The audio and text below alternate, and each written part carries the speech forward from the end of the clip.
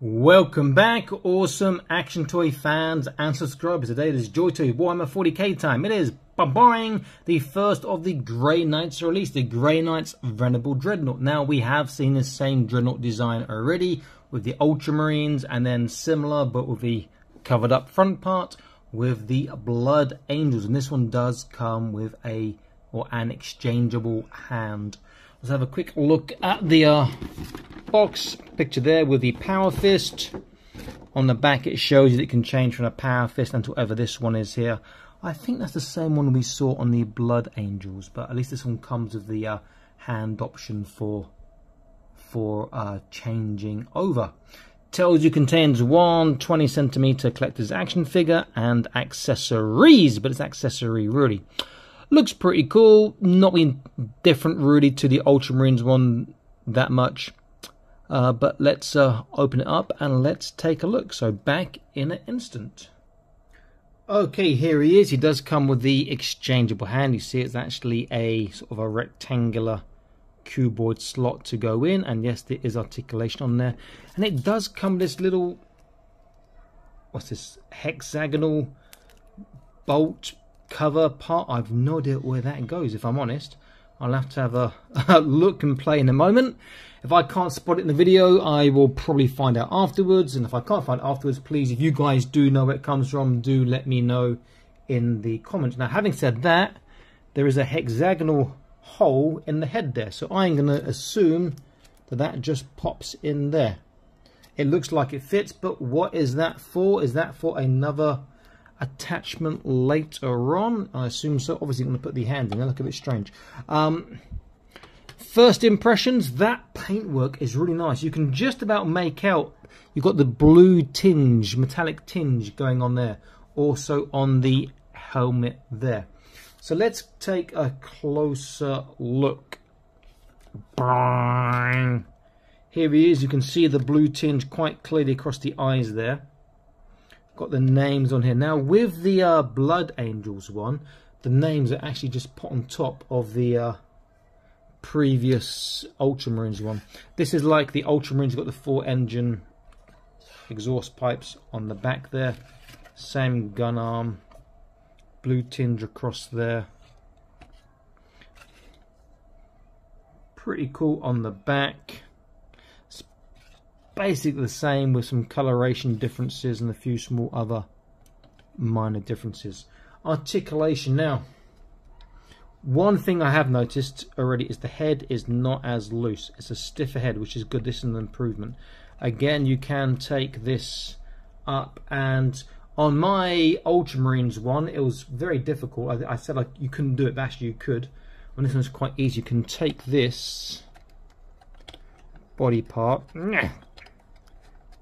out by just wiggling, pulling. There we go. And underneath it's got like a blank thing which yeah. I mean it's nice if they can make alternative things to put in there. This is just your marine body section. It'd be nice if that was actually something underneath you could sort of discover and something new there. Uh, so the waist is like this. It's a rock. It's a uh, ball forwards backwards turn side to side now the gun arm I think previously I said there wasn't any articulation apart from the up and the down. You can go in and out, but if you watch, if I force too much, you can see the plastic, there we go, the arm is coming apart.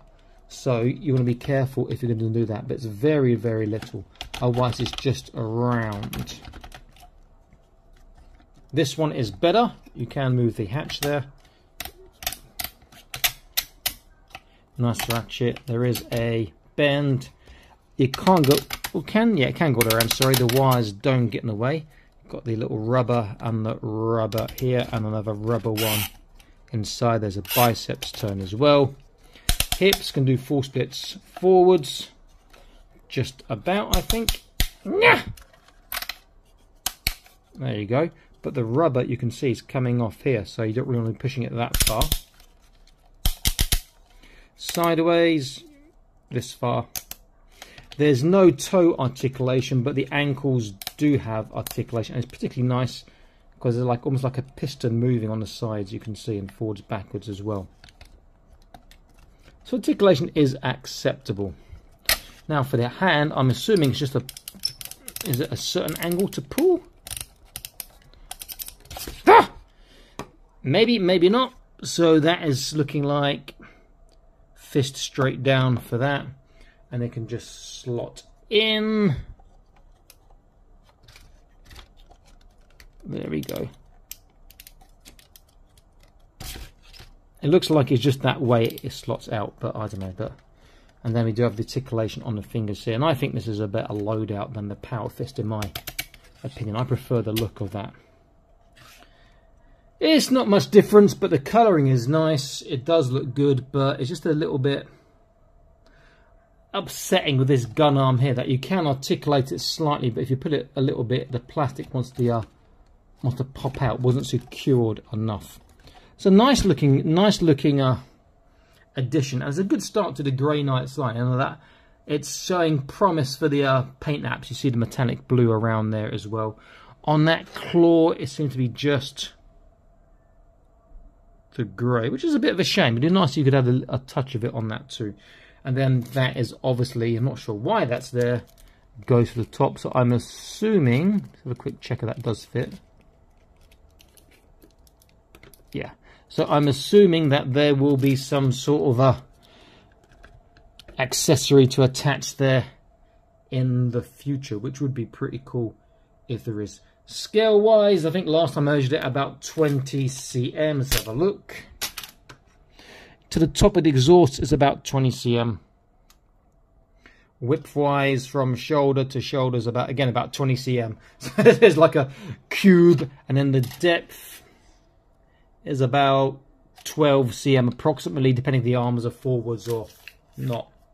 So it's a quite a chunky boy, not big like the Invicta Warsuit. If I give you an idea of size comparison, if I grab, what should I grab? Let me grab my Epoch Capsule Toy Crash Dummy, who's obviously not in the same universe, but put in there. Invicta Warsuit Pilot, which is obviously the same universe.